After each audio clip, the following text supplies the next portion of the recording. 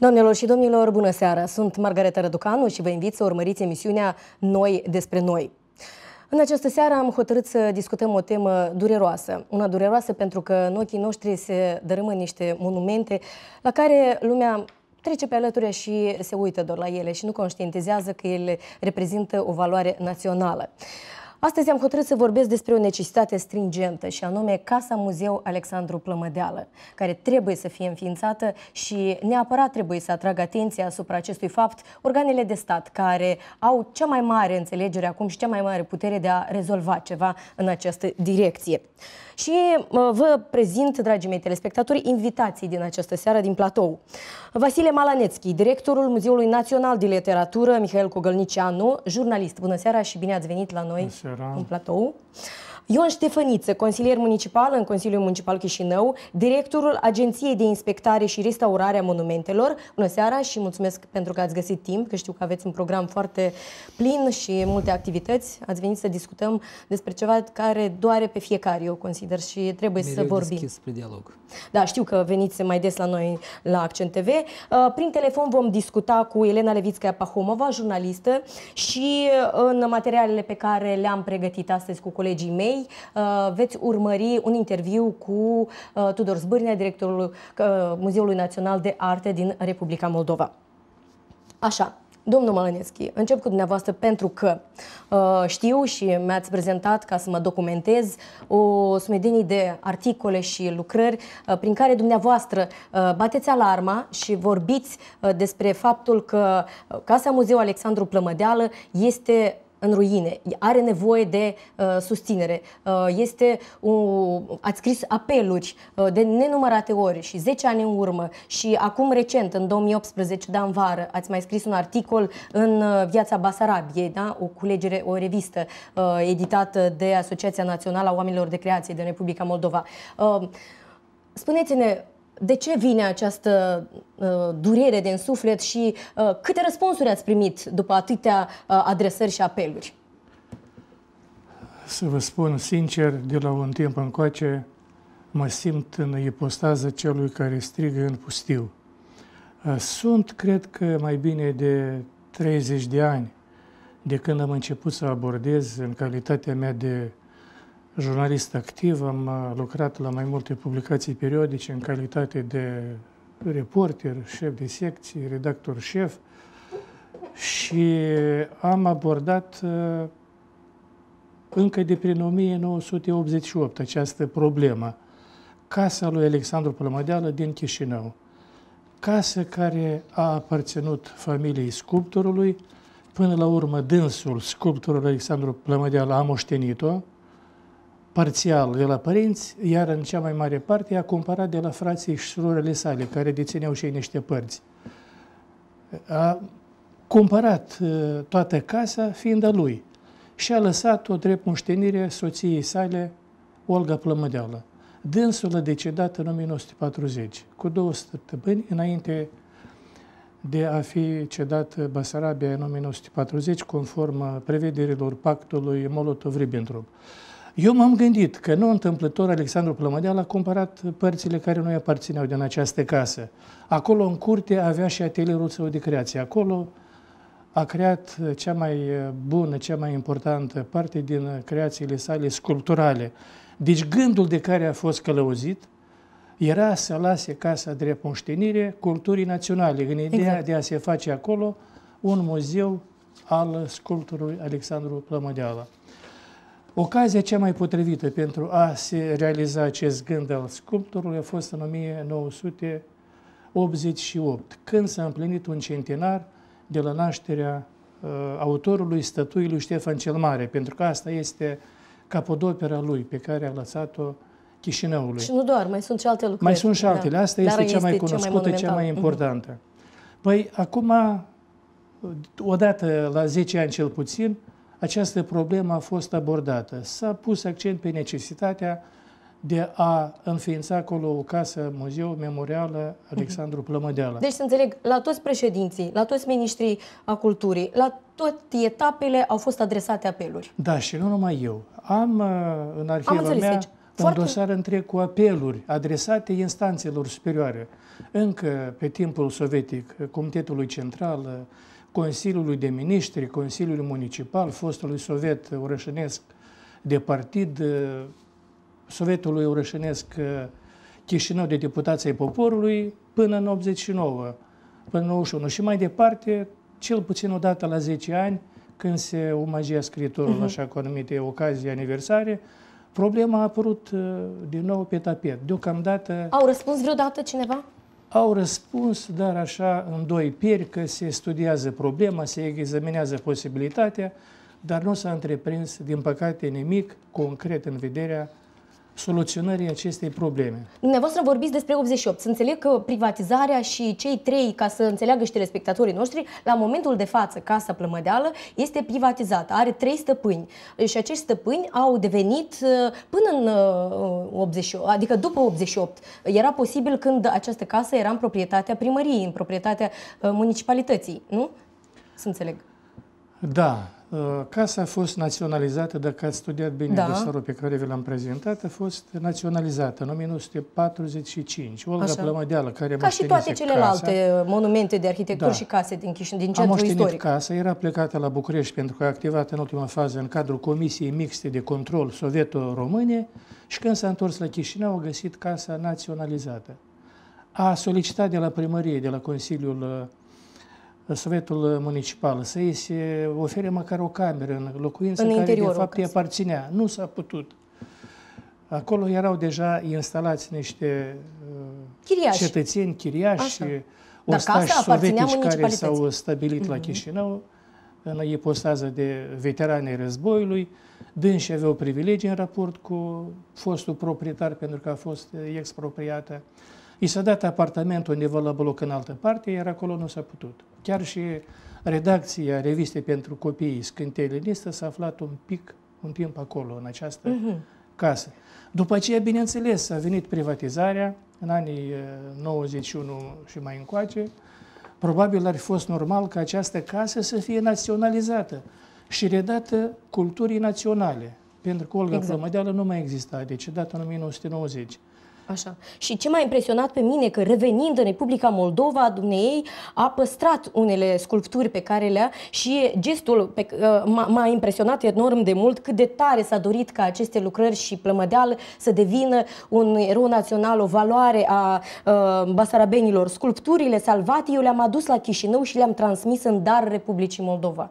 Da. Asta a scris dumneei într-o scrisoare. Deci gândul era același, să gândul se facă același, un muzeu. să se facă un muzeu acolo, da, exact. Până la urmă aceste creații ale sculptorului Plămădeal au ajuns în colecțiile Muzeului Național de Arte Plastică, Așa. care din când în când le etalează pe semezile, organizează expoziții acolo, cum a fost și cea din Așa, vom vorbi despre aceasta an. și cel mai dureros este faptul că atunci când se comemorează o dată a, a, a, scriitorul, a sculptorului Alexandru Plămădeală, nu se ține cont și de faptul că această casă este în Paragină. Dar vorbim despre acest lucru și ce se întâmplă la Muzeul Național de Arte un pic mai încolo. Acum vreau să uh, vorbesc cu domnul Ștefăniță. Văd că ați venit aici cu un proiect schiță a restaurării acestei case. Dar când da. s-a întâmplat acest lucru și de ce până acum nu avem uh, lucrările realizate și care au fost mecanismele propuse pentru ca această casă să devină iarăși în grija, să revină în grija statului?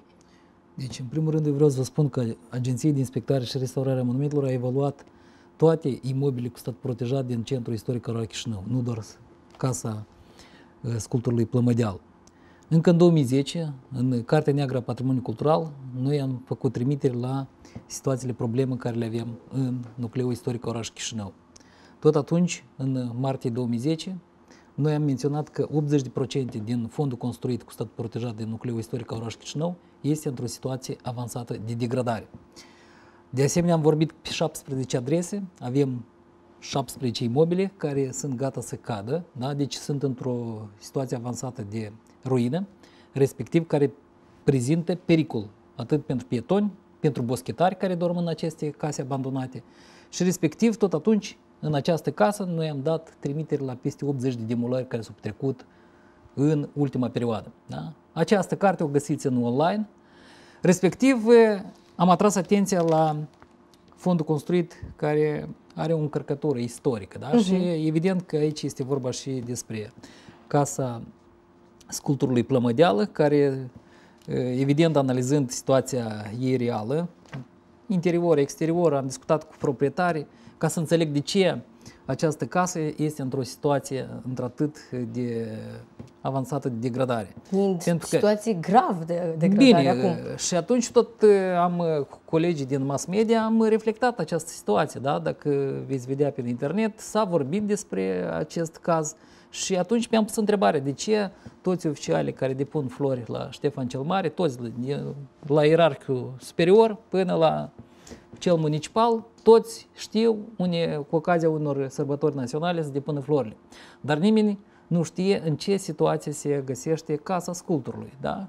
În acest sens, noi, agenția, noi nu suntem responsabili pe elaborarea documentației de proiect, proiect de execuție, restaurări. Da? Noi nu gestionăm fonduri de restaurare, nu gestionăm fonduri pentru elaborarea de proiecte, dar pentru a încuraja lucrurile, pentru a porni lucrurile să, mișcă, să se miște în acest oraș și în Republică, am spus de unde este, de unde nu, dar spornim o schiță de proiect care ar prevedea restaurarea imobilului. Ați prezentat-o Consiliului, ați prezentat-o Am prezentat-o Consiliului Național al Monumentelor Istorice. Această uh, schiță a fost avizată pozitiv la Consiliul Național al Monumentelor Istorice pe 29 aprilie 2014. 14. Da? Deci patru ani în urmă. Ministerul Ce Culturii a spus da restaurării clădirii. Atunci când am abordat subiectul financiar, da? pentru că financiar prin legea ocrotirii monumentelor, responsabilitatea pentru monument este una trilaterală, așa cum v-am menționat astăzi și la telefon. Pentru monument vreau aici deci, deci pentru monument, pentru monument poartă responsabilitatea. De în primul rând, națională, proprietarii. De importanță locală. Pro, exact. Așa. Indiferent, locală, indiferent? națională, responsabilitatea este trilaterală. Este proprietarul, este autoritatea municipală și cea centrală. Da? Independență, dacă este la nivel de municipiu, categorie locală, atunci evident cel de la municipiu mm-hmm. poartă o responsabilitate Această și responsabilitatea casă este de importanță națională. Dar legea ocrotirii monumentelor spune că persoana fizică și juridică este responsabilă pentru bună întreținere, conservare, restaurare și valorificarea bunului care îl deține mm-hmm. în proprietate. Am discutat atunci cu proprietarii. Proprietarii, de fapt, acolo s-au schimbat. Dacă analizăm cadastrul, uh-huh. dosarul cadastral, vedem că cam păi, dar până proprietarii s-au schimbat. În cei 20 de, de ani de zile... municipalitatea în 25 de ani de zile n-a luat uh, nicio atitudine față de acest Bine, mod? dacă analizăm cromatica din uh, fațada clădirii, cel puțin și în perioada sovietică, și era într-o în perioada sovietică s-a făcut un pas adecvată, important. A fost nu, spunem așa, instalată plăcuța. Până, și deja este un pas important, ceea ce și, și domnul Malăniețchi a indicat sunt, într-un articol. Sunt fotofixări care arată că uh, clădirea întrunea toate normele de conservare preventivă. Întrunea, dar nu se lucra asupra întreținerii ei, absolut. Doamna Margarete, uh-huh. eu vă menționez că degradarea a început atunci când a început indiferența, da? Indiferența din partea celor care dețin proprietatea clădirii, da? nemijlocit cele trei apartamente care sunt în această casă, respectiv municipalitatea. Nici o structură, nici o structură la nivel municipal, dar dacă vă spun acum că nici o structură la nivel municipal nu a purtat responsabilitate pentru fondul construit protejat. Da? Iată, noi, la nivel de municipalitate, s-a dat statul protejat în 1995, s-a elaborat registrul monumentelor uh-huh. la nivel de municipiu. Dar cine se ocupă cu documentație de proiect, uh-huh. da? În cazul cu restaurările, este, este o mecanismul, mecanismul financiar, mecanismul... mecanismul financiar funcționează la nu nivel municipal? Nu funcționează, nu funcționează, pentru că nu există și nici nu funcționează structură. colaborarea dintre municipalitate și Ministerul Culturii. Haideți Bine, așa să spunem. Nu, nu, nu. Ministerul Culturii, vedeți aici? De ce comunicare? Nu, noi bine, discutăm bine, studiul de caz. hârtiuță nu este comunicare. Nu, păi, hârtiu, hârtiuța asta e respectarea legii, da? Pentru ca să intervii la, la un monument cu statut protejat, este nevoie de o schiță de proiect. Și nu este un termen că dacă municipalitatea nu realizează ceva să fie pedepsit pozitiv, și preluat? Care este avizat pozitiv, da? De acest Consiliu Național al Monumentelor Istorice. Având avizul pozitiv, deja municipalitatea prin fondurile care dispune, poate să financeze proiecte de execuție. Noi ne-am permis la nivel de schiță. Asta presupune un buget mai mic. Da? Proiect de execuție cu toate caițele, cu inginerie și arhitectură, tot lucrul ăsta presupune un, un, un buget, o deviză cheltuieli. Vă spun cu ce problemă m-am ciocnit la nivel de municipiu. Haideți. Ca consilier municipal, eu insist, evident, că vin din domeniul patrimoniului, cum să nu contribui fiind acolo la Consiliul Municipal Chișinău. Atunci când am solicitat finanțare pentru casa Plămădeal sau, hai să spunem, hotelul Swiss, da, uh-huh. care este biblioteca municipală HD, da, răspunsul Direcției Finanțe a fost că nu poate municipalitatea să financeze ceea ce este proprietate privată. Deci, și la un uh, caz și la altul, da? pentru că mă interesează hotelul Swiss, care e în, pia- în preajma piaței, piața Mării Adunări Naționale, 60% este proprietate municipală, 40% este particulară. Ori fațada este și a celor privați și a celor uh, care reprezintă municipalitatea. Iată, nu s-a reușit finanțarea acestui proiect. Respectiv inclusiv Casa uh-huh. Plămădeală, care sunt trei deținători cu titlul de proprietate pe trei apartamente. Respectiv, acești proprietari poartă responsabilitate. Nu doar pe interior și să-și facă confortul. proprietarii nu dar și îndeplinesc responsabilitățile, ce se întâmplă? De ce noi avem totuși Bine, niște în cazul lacune când în aplicăm legislație? exproprierea, municipalitatea acum dă o alternativă acestor trei familii, unii pleacă aceste trei familii, municipalitatea Am le înțeles că cumpără trei există un fond apartamente. de rezervă de apartamente care Da. a fost votat acum, recent, Eu, și nu- pentru acești eu nu sinistri- cred că acum la nivel de deficit bugetar care este peste 20, Păi, 290 da, atunci de care milioane, ar fi mecanismul? da? Știți, Nu. domnul Ștefăniță, iată, uh, m-a, m-a impresionat un Eu vă următorul spun ca lucru. cetățean, Și- indiferent de structura care o reprezint, eu am luat act de această situație, am elaborat ce puțin un prim pas l-am făcut. Am făcut al doilea pas când am solicitat finanțare și când am primit replici că nu se dau bani pentru proprietăți De la private. cine? Bine, de- direcția de profil, deci cea care decide finanțele la nivel de municipiu. Plus mai departe, e evident că decizia este și colegial în Consiliul Municipal Chișinău. Acolo unde este proprietatea primăriei, da? de exemplu, clădirea primăriei sau uh, o instituție de educație. Deci s-au susținut anumite. Ceea ce este proprietate privată, deci aici e evident că este poziție rezervată și pe linia Am înțeles. municipală, Uh, dar și... Ce m-a impresionat pe mine, astăzi am telefonat, uh, desigur, primul lucru ce l-am făcut, am Eu telefonat la v-aș Ministerul pune Culturii. întrebare, dumneavoastră, dacă ați fi proprietar acestei case, ați investit doar în interior sau și în exterior? Și în interior și în exterior. E evident că sunteți un cetățean responsabil, da? Așa cum un om în fiecare zi se spală când se scoală, da? Se În spală, cazul în care așa acest și casa cetățean aceasta nu are este o față, responsabil, trebuie de luat alte măsuri. Și vă, vă spuneam, ping-pong există la noi între Ministerul Culturii și municipalitate. Asta am simțit-o pe pielea mea proprie astăzi când eu am, aș am vrea telefonat ca, la Ministerul eu aș Culturii vrea ca împreună și nu cu mi-au dumneavoastră, răspuns. împreună cu dumneavoastră Da, da, și împreună primăria cu domnul a- Malănețchi, primăria da? a învinuit Ministerul Culturii. Să Iată, atingem, cu- să colegii atingem mei o să vă Margareta, punem- acest obiectiv educativ, ca această societate care trebuie culturalizată, ca acești proprietari care trebuie să conștientizeze că dețin în proprietate o Dar ei valoare, poate o sunt valoare săraci, ei istorică, nu au da? bani. Atunci nu trebuie este statul o să ca- ia o atitudine. Dacă ei sunt săraci și nu au bani să-și o întrețină. Noi pierdem, atunci haideți Eu să... uh, pot să vă fac o excursie la câteva adrese unde uh, situația în apartamente este una foarte luxoasă, dar fațadele sunt în degradare. În orice caz, Da? este De ce foarte, la noi foarte uh, trist ceea ce se moldovenii întâmplă. investesc doar pe confortul interior, dar mai uităm că casa mai are o fațadă? Oricum, ar Iată, fi în acest trebuit... sens noi mai avem de lucru. Ar fi trebuit Da? să existe un mecanism, da, și vreau să punem pe post uh, impresia sau părerea domnului Tudor Zbârnea, directorul Muzeului Național de Arte, vis-a-vis de această casă și alte case care la fel se află în situații degradante și sunt uitate și delăsate de către instituțiile care ar fi trebuit să ia atitudine. Vă rog frumos.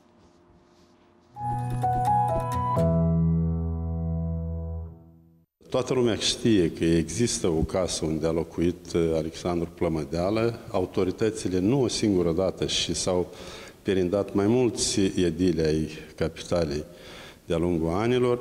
Toți au zis, da, trebuie să avem o casă memorială Plămădeală care ar uh, constitui acel muzeu uh, spre care tindem cu toții și pe care, pe care ne-l dorim. Uh, Sigur, uh, eu am anunțat în nenumărate rânduri că uh, păcat că avem o memorie scurtă și uh, nu reușim de-a lungul ultimilor ani, să zicem până în 90, lumea era preocupată de alte probleme. Dar de atunci și până astăzi nu s-a mișcat uh, uh, nimic pentru uh, realizarea acestui gând. Uh, sigur, uh, în primul rând, uh, cei de la cultură trebuie să pună uh, problema, uh, cei de la cultură mă refer de la primărie, dar uh, va trebui odată și odată să găsim uh, înțelegere și sprijin pentru că uh, Alexandru Păm- Plămădeală este o figură marcantă atât uh, pentru uh, învățământul uh, artistic de la noi, cât și ca sculptor. El este autorul unei sculpturi uh, uh, statuia Ștefan cel Mare, care este considerată uh, cea mai bună statuie din întreg spațiul uh, românesc. Uh, Este o, o figură, în primul rând, uh, marcantă pentru uh, perioada în care a fost director la Beleard, în perioada interbelică, datorită lui Alexandru Plămădeal, s-a păstrat această instituție. Și aici s-au format o serie de artiști care au dus faima Moldovei peste tot. Tot ce s-a produs în perioada directoratului lui Plămădeală la Beleard Chișinău, cu sprijinul Ministerului uh, Artei, Artelor și Cultelor din uh, uh, București, s-a produs datorită acestui artist care era și un bun organizator al procesului cultural. Am anunțat și despre faptul că am fi dispuși din ceea ce deținem noi, pentru că în mare parte lucrările Alexandru Pălmădeal se păstrează la Muzeul de Artă, au fost restaurate o serie de sculpturi pe care le-am găsit la un anumit moment într-o stare de conservare, pre, conservare precară. Am fi dispuși să uh, uh, uh, acordăm o serie de desene, o serie de documente care se mai, se mai găsesc, uh, fotografii ale uh, artistului pentru acel muzeu pentru că ar fi un loc atât pentru noi, pentru memoria noastră colectivă, uh, dar și pentru cei care ne vizitează. Nu avem foarte multe uh, uh, muzee în Chișinău, mai ales case memoriale. Deci, nu cred că ar fi o mare problemă să găsim trei apartamente sau trei locuințe pentru acei proprietari care au devenit proprietari datorită unor circunstanțe, pentru că s-a privatizat întreg fondul locativ în baza unei legislații pe care uh, trebuie să o respectăm, dar nu cred că autoritățile noastre nu sunt în stare să asigure uh, cu locuințe acei uh, proprietari sau să negocieze într-un anumit fel. Da, am revenit în studio, ați văzut că domnul Zbârne a zis că ar putea fi posibil și este posibil pentru ca să reușești să rezolvi uh, această problemă și să găsești un mecanism și vreau să explic telespectatorilor de ce am ajuns acolo, pentru că în cadrul Muzeului Național de Artă a Moldovei, uh, din uh, octombrie și până pe 9 decembrie curent, este uh, organizată o expoziție comemorativă dedicată sculptorului Alexandru Plămădeală la 130 de ani de la naștere.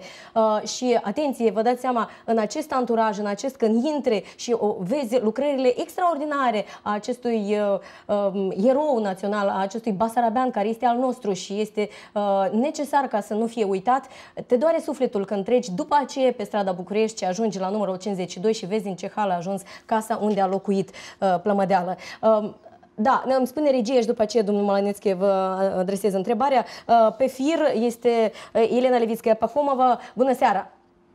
Добрый вечер. Алло, вы меня слышите?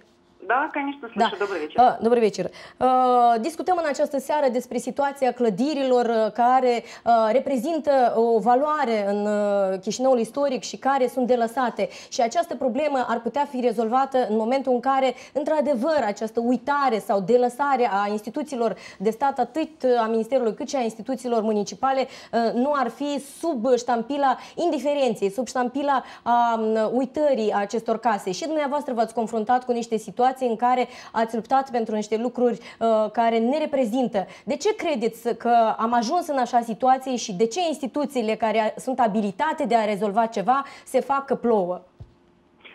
Вы знаете, наверное, проблема не в государстве, не в чиновниках, а в людях, которые дали возможность вот всей этой системе чувствовать себя безнаказанными.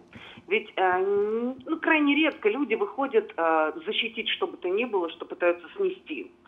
А, максимум, на что мы способны, это какие-то посты в Фейсбуке, негодующие. Кстати, они тоже имеют э, значение, влияние на действия последующие. Вот так произошло с мозаикой на Дворце культуры профсоюзов. И сколько бы мне не доказывали чиновники, то что, что вы, что вы, мы знали, мы пытались сохранить, ничего подобного. Если бы не поднялось это общественное волнение, я думаю, что все было бы так, как предполагалось, потому что строители говорили честно. Нам дали задание сбить мозаику лопатами. А, и вот это безразличие общества и молчание, привычка, что тебя ударили по, по одной щеке, подставь вторую, вот она и является э, вседозволенностью вот той чиновничей. Ну и плюс, кроме того, понятно, что дают сумасшедшие взятки. Строительство – это всегда невероятные откаты, это всегда возможность подзаработать что-то себе тоже построить. И сегодня как раз была встреча энтузиастов, группы активистов, среди которых очень много художников, искусствоведов, историков, э, архитекторов э, с таким национальным именем. Это люди с э, прекрасной репутацией, не подпорченные, не подточенные ничем. И вот мы сегодня как раз обсуждали о том, что же нужно делать и чей бы опыт нам перенять. Ну вот говорили об опыте Румынии, где, оказывается, существуют инспекторы а в полиции, которые приходят и сразу же бьют по рукам любому, кто нарушает закон. А мы напомнили о том, вспомнили, что, оказывается, сначала, когда ты видишь нечто такое происходящее, нужно звонить не в Министерство культуры, а не в Агентство по защите памятника. Во-первых, делом в полицию, которая обязана это пресекать. И, понимаете, вот мы пытаемся, да, сейчас будет попытка расширить реестр, перечень памятников, охраняемых э, государством. Но где вероятность того, что попав в этот список, с ними не будет происходить все то, что происходит с э, ну, памятниками 19 века, начала 20 века. И самое главное, людям не быть безразличным, потому что государство – это прежде всего мы. И вот до тех пор, пока мы молчим, нас не берут э, во внимание, нас не слушают, к нам, ну, считают, что с нами можно делать все, что угодно. Да, Кроме госпожа, того, госпожа Пахомова-Левицкая, э, да. но в этом случае не молчали 20 чем-то лет, писали каждый год в случае дома э, Пламодяла. А, ну, значит, недостаточно писали. И к тому же нужно, наверное, обратиться к собственникам, которые, я так понимаю, что это частные лица, и которые ну, в таком состоянии это здание оно существовало. А, но я вам скажу так, что, наверное, самая большая проблема есть, есть еще другая, это не самая большая. Проблема, например, с могилой Александра Бернардатца. Мало кто знает и мало кто об этом говорит, о том, что давно-давно осквернен памятник. И вот буквально в ближайшие дни наконец-то будет эм, барельеф бронзовый возвращен на памятник, опять же, силами энтузиастов. Угу. То есть мы вспоминаем о великих людях только в день их юбилея. Но ну, вот благо на выставку сподобились. Спасибо большое. И вообще уровень образования. Ведь мы не знаем ни людей, которыми стоит гордиться. То есть мы имена-то вот знаем как-то на слуху, ну да, и то не все.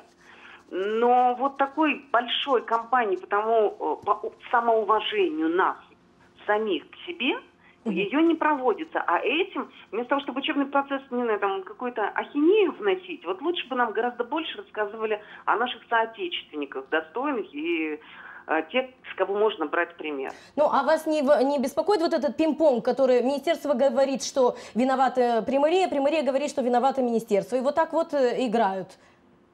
Меня это не беспокоит, э, потому что это норма абсолютно. Никто не хочет брать на себя ответственность. Покажите мне а, ну, хоть одного человека, который понес, понес ответственность, понес наказание за то, что он что-то разрушил, осквернил. Да, но это, но это неправильно. Мы должны кого, кто-то спросить, от кого-то спросить, почему до сих пор в таком состоянии находится дом Пламодялы. Ну, значит, надо в суд подавать и на тех, и на тех, а вот судья пусть уже и разбирается, вот и все. Но другой вопрос, что у нас законодательство несовершенно. Мы с вами, знаете, как посторонние люди, то есть вроде какое-то национальное достояние, а мы с вами, как граждане, ничего сделать не можем в этой ситуации. Вот так вот чиновники кидают друг другу на этот мячик. На тебе, на тебе, на тебе, а мы остаемся с тем, что есть. Да, э, спасибо вам большое. Э, надеемся, что все-таки э, придет время, когда каждый из нас поймет, что проходя мимо, не нужно забывать, а что-то делать. Спасибо большое. Да. Спасибо вам. Domnul Malănețchi, ați vrut ceva să spuneți și după ce a vorbit domnul Zbârnea și mai avem materialul. Da, domnul Zbârnea, directorul general al Muzeului de Artă, cunoaște foarte bine situația Uh, s-a implicat la nivelul organizării expoziției, a valorificării uh, moștenirii uh, artistice a sculpturului Plămădeală. Din păcate, muzeul nu poate să facă mai mult decât doar să contribuie la sensibilizarea opiniei publice și a factorilor de decizie. Are dreptate, într-o anumită măsură, doamna Pahomova, dar nu cred că trebuie să punem responsabilitatea doar pe seama societății. Și mie îmi pare că este Pentru prea... că societatea, din păcate, în ultimii ani a văzut niște exemple nu prea bune. Când cineva din factorii de decizie își permite să pună în buzunar milioane, păi cum poți tu, care ești un simplu muritor de rând și care ți-a revenit, să zicem, nu știu cine locuiește acum în casa lui Plămădeală, locuie acolo și așa l-a prins momentul când uh, s-au privatizat locuințele. Poate oamenii ăștia chiar nu au bani să restaureze. Pe urmă, restaurarea unei case memoriale prezintă totuși uh, dificultăți prea multe încât să cadă în seama unui simplu, simplu locuitor. De deci este o problemă pe care cu siguranță trebuie să-și o asume statul.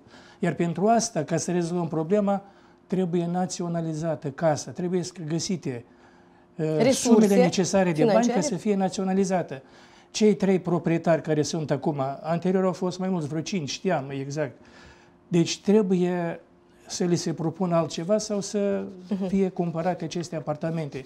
Și abia după aceea, fiind proprietatea statului, se poate investi. Fie că va investi primăria, se vor găsi finanțatori externi, extrabugetari sau din alte mijloace da, pentru că după statului. mine este un act de rușine statală acest uh, imobil și, și doar indiferență. Atunci, exact, și doar atunci se va putea rezolva problema la modul serios și pe termen lung în conformitate cu legislația în vigoare. Acum nu poți da vina pe proprietarii actuali care s-au numerit peste noapte proprietari. Da, și vă rog frumos, uh, regia, să puneți post uh, material video pregătit de colegii mei ca să vedem în ce stare se află acum această casă.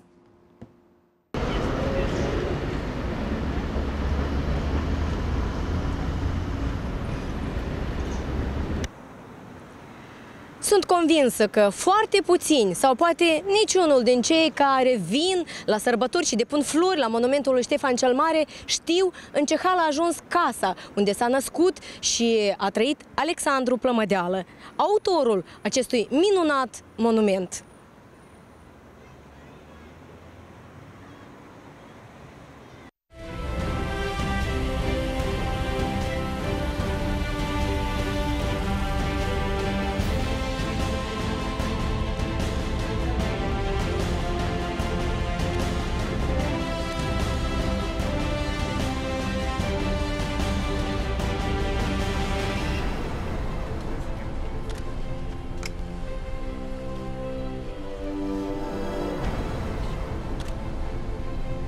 Practic, în fiecare lună se întâmplă ca monumentul lui Ștefan cel Mare și Sfânt să fie vizitat de către mari demnitari de stat și simpli funcționari, oaspeți din alte state sosiți la Chișinău în vizite oficiale, șefi de diferite instituții, pur și simplu membri de partid și în conformitate cu protocolul prestabilit merg pentru a depune flori la statuia Marelui Voievod. Cu siguranță, autorul acestui monument nici nu bănuia că după o muncă enormă și o contribuție vastă în dezvoltarea artei și sculpturii basarabeni, casa în care a locuit și a activat va fi dată uitării. Capodopera lui Alexandru Plămădeală o constituie monumentul lui Ștefan cel Mare și Sfânt din grădina publică, care a devenit însemnul emblematic al capitalei Republicii Moldova.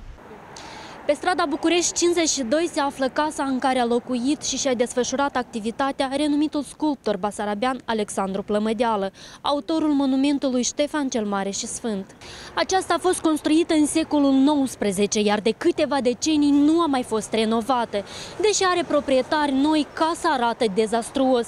Tencuiala cade, are crăpături, iar în orice moment aceasta stă să se prăbușească peste trecători. La 20 octombrie 2018 s-au împlinit 130 de ani de la nașterea sculptorului Alexandru Plămădeală, unul dintre cei mai valoroși artiști plastici moldoveni. Cu această ocazie, Muzeul Național de Artă al Moldovei a fost organizată o expoziție comemorativă dedicată sculptorului. Alexandru Plămădeală s-a născut la 9 octombrie 1888 la Chișinău și a făcut studiile la Școala Superioară de Pictură, Sculptură și Arhitectură din Moscova, în atelierul sculptorului rus Volnuhin. În anii 1916-1918 a lucrat la monetăria din Petrograd, apoi se întoarce la Chișinău, unde în anul 1929 este numit în funcție de director al școlii de desen, transformată ulterior în Școala de Arte Frumoase, actualmente Colegiul Republican de Arte Plastice Alexandru Plămădeală, pe care o conduce timp de 11 ani. Este autorul bustului funerar al poetului Alexei Mateevici de la cimitirul ortodox central din Chișinău. În creația sa a practicat toate genurile sculpturii, portretul, nudul, sculptura monumentală, bustul funerar, compoziția de desen plastică mică. Alexandru Plămădeal a fost inițiatorul lansării în Chișinău al unui muzeu în aer liber, ansamblu sculptural aleia clasicilor literaturii române, amplasat în grădina publică a capitalei. Это известный художник, иконописец, скульптор. Вот у нас в Бендерах он в 1925 году расписал Преображенский собор – Он и сейчас в великолепном состоянии, здание, которое было построено еще в 1815 году. Вот такой замечательный человек. Естественно, эти работы, которые здесь представлены, на самом высоком уровне, поражают, удивляют. Casa unde a locuit și și-a desfășurat activitatea regretatul domnul Plămădeală. Trebuie să transforme într-o casă muzeu. Cine se face responsabil de această casă? Eu cred că este omul responsabil de toate lucrările uh, care sunt luate sub ocrotirea statului uh, și uh, este tot sub o evidență strictă aceste opere de artă, cum sunt aceste clădiri de vază. De ce imobilul a fost privatizat? De ce până în zilele noastre nu s-a găsit un mecanism de reîntoarcere a casei în grija statului și cum poate fi lăsată de izbeliște o capodoperă națională? Despre toate acestea am încercat să aflăm din prima sursă de la arhitectorul șef al municipiului Chișinău, Sergiu Borozan. Sunt monumente istorice de arhitectură eh, care sunt din semnătate națională și din semnătate locală. Deci acest monument este din semnătate națională. Adică este protejat de stat, ca și bine oară monumentele din semnătate locală. Numai că cele sunt protejate, da, de municipalitate, pentru că ele sunt în gestiunea și în proprietate, așa să spunem, a municipalității, a administrației publice locale. Dar aceste monumente, ele sunt, dacă sunt de stat și dacă o să accesați în cadastru, deci o să vedeți că clădirea e Republica Moldova. Înseamnă că o gestionează sau, mai bine zis, o protejează Ministerul Educației, Culturii și Cercetării. Astăzi este așa minister, știți. Deci ea ar trebui și, și trebuie să fie de stat. În primul rând, dacă vreți să știți părerea noastră, Direcția de Arhitectură și Urbanism, ea, ca și toți ceilalți cetățeni, faci tot posibilul ca aceste monumente să fie păstrate. Cu atât mai mult că a fost elaborat planul urbanistic zonal centru, unde a fost propus regulamentul de întreținere, regulamentul de protejare, de reparație, gestionare și așa mai departe a acestor monumente. Deci la ziua de astăzi sunt foarte multe, așa să zic eu, neclarități în, în aceeași gestionare.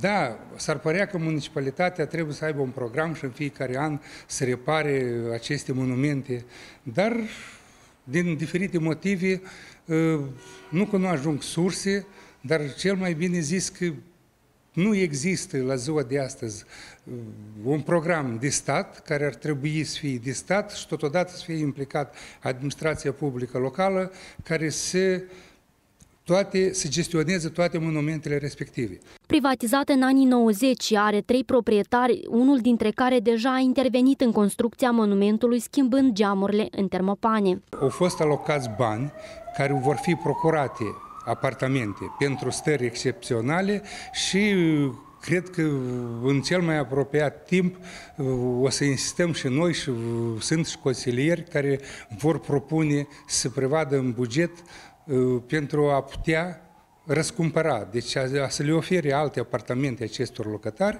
și clădirea dată să fie uh, ori municipalității date sau același Ministerul Culturii să o gestioneze unde să organizeze acest un muzeu. Și eu sper că pe viitor va fi muzeu. Această problemă ce preocupă păturile conștiente a societății trebuie soluționată în regim de urgență prin restituirea casei artistului către cultura națională și transformarea ei în Muzeul Memorial Alexandru Plămădeală. Organele de stat abilitate ar trebui să se gândească la faptul că în cadrul acțiunilor comemorative prilejuite de orice dată importantă din viața artistului, nu doar să organizeze expoziții, dar în primul rând să inaugureze Muzeul Memorial Alexandru Plămădeală.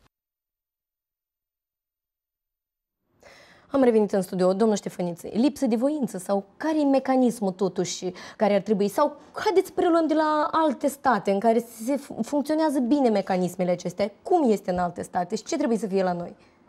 Încă din 2010, când am venit în acest sistem de protejare a monumentului istoric, eu am menționat de e, faptul că la noi, la nivel de mentalitate, nu se conștientizează valoarea acestui patrimoniu pe care noi l-am moștenit. Nu se conștientizează nici la nivel de cetățean, da? nici la nivel de funcționar.